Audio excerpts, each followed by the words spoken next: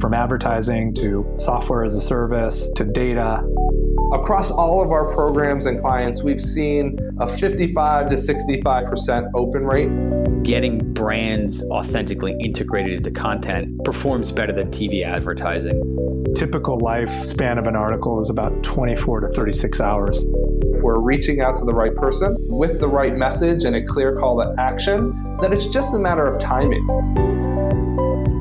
Welcome to the Martech Podcast, and I Hear Everything production. In this podcast, you'll hear the stories of world class marketers that use technology to drive business results and achieve career success. We'll unearth the real world experiences of some of the brightest minds in the marketing and technology space so you can learn the tools, tips, and tricks they've learned along the way.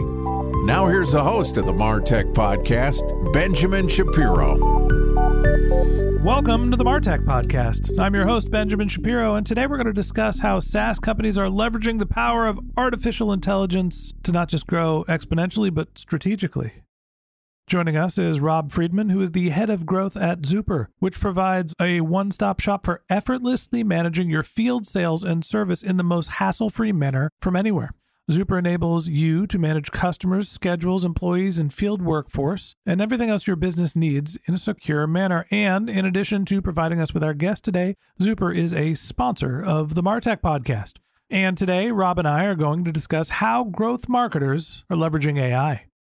All right, here's the first part of my conversation with Rob Freedman, the head of growth at Zuper. Rob, welcome to the Martech podcast. Ben, thanks for having me. Excited to finally get to have this conversation. We've got a lot to cover over the next couple days. Uh, but first and foremost, let me start off by saying thank you, Zuper, and you are a sponsor of the Martech podcast. I appreciate your support in helping us produce this content and all of our other shows. And uh, excited to talk to you a little bit about the uh, got to be the hottest topic this year, maybe this decade maybe since the announcement of the iPhone App Store, we haven't seen so much innovation in such a short period of time. And it's all because of two letters that we all know and love these days AI. So you're a pro at this. Talk to me about how growth marketers are leveraging AI. Yeah, well, first, it's a pleasure to be here and be a sponsor. Myself and the whole team are great fans of the show. So happy to make this happen. AI. It is. It is the one thing that's got everybody's attention. And we are definitely very excited about it here on our team. And as growth marketers, you're always looking for ways to scale. And this is truly disruptive technology. So I've found myself going back and forth about how I feel about where we are in the artificial intelligence landscape. I think we're in the sandwich phase. You give a prompt, you get results, and then you have to revise the result. And so humans are the bread, and AI is the meat in the sandwich, meaning that it just doesn't do it for you yet. It is a research tool, it is a content production first draft tool. Talk to me about how you and your team are using AI. What are some of the ways that you've actually got value out of it? Yeah, I mean, you bring up some very good points. It's definitely in this inflection point. It's not quite on autopilot. You definitely need to put a lot of thought into how you construct your input into them to get really good output. You also need to select the right tools for the right job. Right now, there's been a lot of playing with it. There's been a lot of, but it's got a sharp learning curve. Our content writing team uses generative AI for ideation, for keyword research. It's really good for creating bullet points and helping just to gather together ideas, but actually creating something that a human wants to read, not there yet. And right now, because these models have been trained largely on the web, I don't know about you, when I Google something, I still don't necessarily always get what I want on page one. So yeah, the AI can do what I'm doing manually faster, but they're still going to get the same messiness that we encounter when we're searching.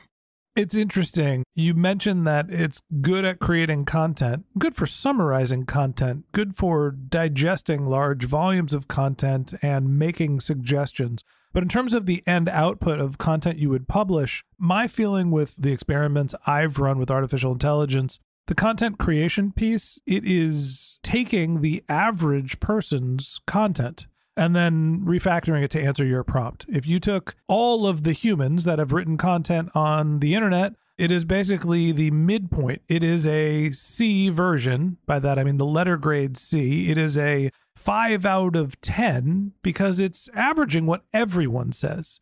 And what I want is give me the best version. What do the smartest people say? Have you found ways to create content, or have you and the team found ways to create content by changing your prompts to be either more restrictive or give it guidance in terms of what you want artificial intelligence to say to get better end results when you're creating content?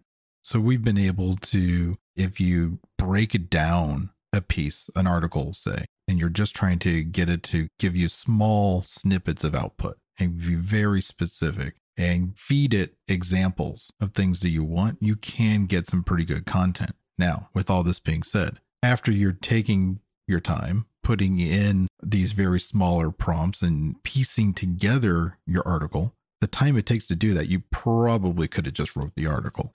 Kind of like I said, we're at that point where it's helpful, but is it that much faster when you need it to instead of get a C, you want that at least an A minus on the exam here. And to get that, it takes a lot more time of you have to be very specific and really engineer your prompts in a very special way. It's not purely just natural language where it can just guess what you want out of it one of the things that I did that I saw success with with copywriting using ChatGPT or artificial intelligence to be more broad was actually writing responses to emails. Hey, here's an email that I want to respond and it's a little tricky. How do I soften the language and say email this sponsor back saying we over delivered based on your expectations but we'll also give you a break to try to maximize for revenue. And I got a wonderful email response, and it helped me figure out what I wanted to say without coming off as crass or being reactionary. So I think that email and copywriting maybe are two different things, and ChatGPT is good for one and maybe not good for the other.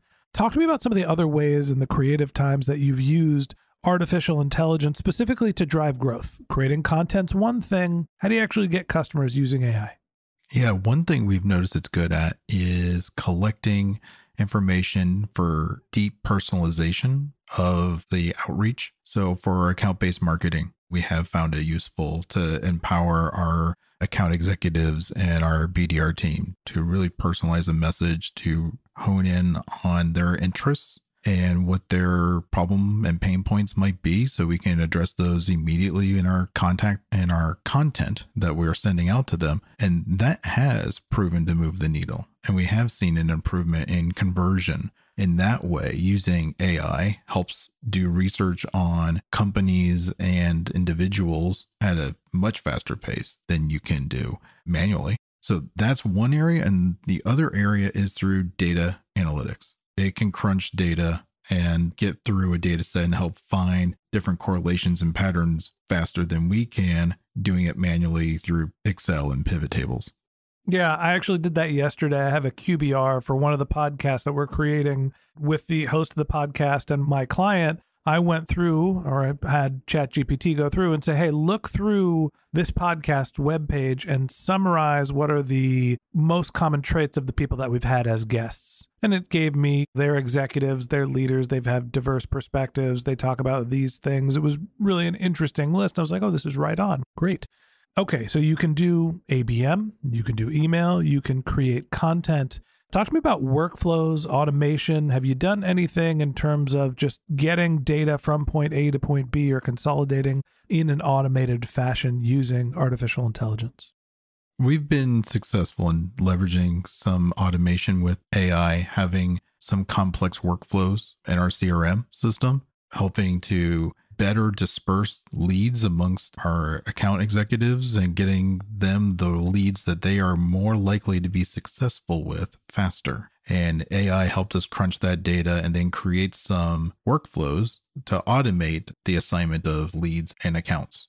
So, give me some examples of how that works. Hey, GPT, here's all my customer data, conversion data, and here's the sales reps. Tell me which sales rep is going to be most likely to close this lead.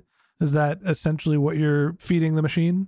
Yeah, so we feed the machine the historical data on the sales reps and what leads they have fielded and which ones they have placed into closed won and become customers. Then we feed it data on who we have in our prospect pool through uh, collecting intent data. So, who from that pool of high intent markers that we're seeing, and then creating that overlay and saying, okay, well, you know, so and so should have this set because they have got a 25% close rate higher than anybody else on the team, they should get ones from this industry or this subset versus someone else who might be stronger in another field or another industry. I guess the last question I have for you is there's a bunch of different ways that we've seen ChatGPT, artificial intelligence, start to be useful. And a lot of it still requires human touch to be public facing. What are the places where you've seen Chat GPT, artificial intelligence, Bard, whatever tools you're using? Where's it falling down? Where are you're like, no, no, no, no. This is where humans need to interact, and this is a place where we're not going to see growth using a machine. It needs a personal touch. I mean, one area is fact checking. Now, one thing I have liked recently, I've seen in Bard is it'll give you sources of where it came up with its information, and you can go and fact check it yourself. I think there's still limitations in accuracy, which I know is obviously limited based on what the AI can access. But additionally, making sure that things are as accurate as possible and creating those brand standards. So every brand's got their look, their feel, their voice, their tone that they need to stick to. Now, I know Jasper's rolled out some tools that let you configure it to make it more brand consistent but some of the free tools they certainly don't have that type of adjustment or settings within them and i think helping brands make sure the content that they're getting out of these and the outputs are spot on to how they actually want to be seen in the world also takes a little bit of time and effort I have to wait here because I'm waiting to see how accurate ChatGPT's description of me is. It used to say that I was the CEO of Sendoso, which I am definitely not. And I cannot agree with you more on the fact checking even if you get the tone right, the machine hallucinates. The machine doesn't quite understand context and it just wants to give an answer. It doesn't care if it's right or wrong. And we absolutely have to have a human touch when it comes to evaluating our content and making sure that it meets not only our brand's tone, but it is factual, accurate, and what a human would and wants to say. Artificial intelligence is incredibly powerful. I feel like we've talked about it ad nauseum on this podcast this year. Rob, give me one last little tip here. What's the big tool that you're waiting for? What's the last thing that artificial intelligence hasn't done that you're optimistic will be here in the near future? I'm optimistic that we'll see something that's baked into the tools we already are using, baked into the CRMs, baked in natively to some of the project management tools, and that they'll all talk together that they will share information, share knowledge, and you'll be able to bridge those things all together so you don't have to teach and reteach each individual system how you want things to be done. I couldn't agree with you more, Rob. I think what's going to end up happening is we're not going to be using Chat GPT. We're all going to be developing our own large language models. We're going to be training the Martech podcast GPT to understand how I talk and how I like to have conversations with my guests and what they're likely to say. And that way we can produce content in the tone of the podcast. The more that we're able to collect data and feed it into the machines with a specific subset of information, the more accurate they're going to be with what we want to say. And that wraps up this episode of the Martech podcast.